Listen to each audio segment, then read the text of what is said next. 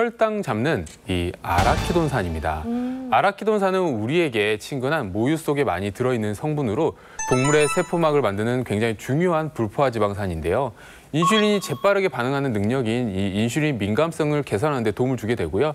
이를 통해서 혈당 조절에 도움을 주는 것으로 알려져 있습니다. 네. 음, 혈당을 잡아주면 나한테 큰 도움이 될 것 같다, 그지? 네. 네, 맞습니다. 이 중년 여성의 경우에는 여성 호르몬의 영향으로 갱년기를 기점으로 해서 당뇨병 발병 위험이 높아지는데요. 네. 이럴 때 아라키돈산은요, 이 췌장 세포의 파괴를 막아서 당뇨병의 발병 위험을 낮춰줍니다. 실제로 한 연구에 따르면은요, 당뇨쥐에게 아라키돈산과 아연 식단을 공급을 했더니 혈당 수치가 감소하고요, 또 공급을 중단한 이후에도 무려 2주간 혈당 수치가 유지된 것으로 나타났습니다. 선생님 그러면 저희 어머니처럼 당뇨 전 단계인 분들도 미리 챙겨 드시면은 좀 당뇨를 피할 수 있는 걸까요? 네, 맞습니다. 이 체내 아라키돈산의 농도가 높을수록 이 당뇨병의 발생 위험이 낮아지는 것으로 보고가 되고 있는데요. 실제로 당뇨병이 없는 중년 남성 2천여 명을 대상으로 19년간 추적 관찰한 결과를 보면은요. 이 혈액 중에 아라키돈산의 농도가 높은 사람은 당뇨병 발병 위험이 무려 46% 낮은 것으로 나타났습니다. 흑염소에서 꼭 기억해야 할 두 번째 성분 어떤 게 있을까요? 네, 바로 자, 혈관 건강 챙겨주는 올레산과 리놀렌산입니다. 네, 올레산과 리놀렌산은요, 둘 다 불포화 지방산의 일종인데요.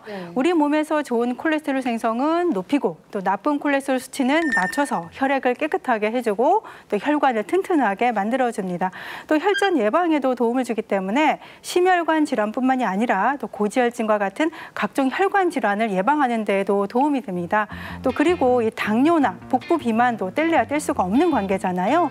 근데 이 올레산과 리놀렌산이 복부 비만을 예방하는 데에도 도움을 줄 수가 있고요. 또 올레산은 내장 지방의 주범인 중성 지방 수치를 낮춰주고요. 또 리놀렌산은 지방 축적을 막는 동시에 지방 세포의 사멸을 유도해서 체지방 감소에 도움을 주는 것으로 나타났습니다. 그런데 선생님 제가 걱정이 하나 있는데요. 저는 이 흑염소 진액 좋다고 그래서 정말 잘 챙겨 먹어요. 그런데 어머니한테 제가 이거 드시는 게 좋다고 어머니 드셔야 된다고 그러는데 어머니께서 살찐다고.